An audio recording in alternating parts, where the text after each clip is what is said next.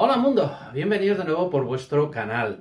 Bueno, pues vamos a hablar hoy de Toyota y es que nos ha sorprendido esta marca. Bien, ya sabéis que, bueno, pues Toyota no es que precisamente haya apostado mucho por los vehículos eléctricos.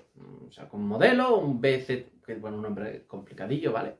Y bueno, pues al final tuvo problemas porque una de las ruedas se podía desprender. Una rueda. Y Toyota no es un fabricante cualquiera, ¿vale? Es Toyota. Es el que más vende, es Toyota. Bueno, en definitiva, que no apostaba mucho por el vehículo eléctrico. Y bueno, pues ahí le teníamos como un fabricante que térmico, híbrido y bueno, y poco más. Pero ¿qué pasa? Ha dado la campanada, la sorpresa. ¿Y por qué? Os explico. Toyota, bueno, pues ha pasado de no hacer apuestas por el vehículo eléctrico a marcarse unos objetivos, la verdad es que bastante, bastante complicados, pero es Toyota y si quiere puede, no sé, puede conseguirlo. Bueno, el tiempo eh, es al final el que nos va a decir si lo consigue o no lo consigue. Esto sí que es impepinable. Yo os digo, en el año 2022, ¿vale? Pues durante todo el año 2022 vendió 24.000 vehículos completamente eléctricos, ¿vale? 24.000 durante todo el año 2022.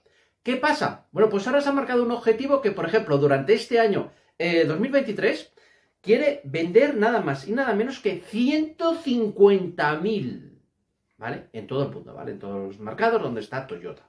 150.000. Pero es que para el año siguiente, el año 2024, el año que viene, quiere vender 200.000. Y ojo, que llegamos al año 2025 y quiere llegar a la cifra de 600.000 vehículos eléctricos vendidos.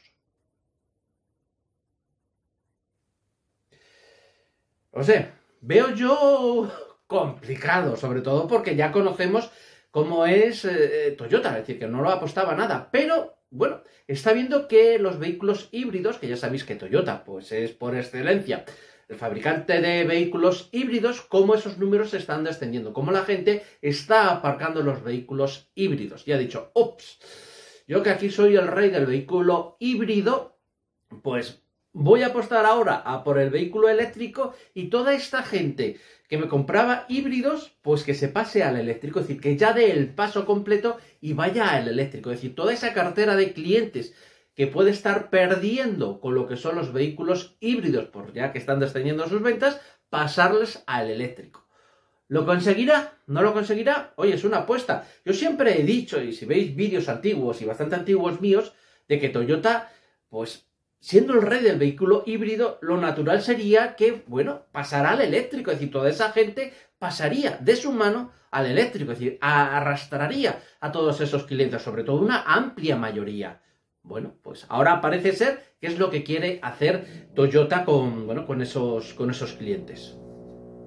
Os vuelvo a repetir, el tiempo es el que va a decir si esto pasa o no pasa. Eso sí, va a sacar nuevos modelos, ¿vale? Está trabajando para sacar ya, desde ya, no ha dado detalles, pero bueno, supongo que si lo quiere sacar ya para hacer estas ventas, pues tiene que ya dar detalles, sacarlo, decirnos.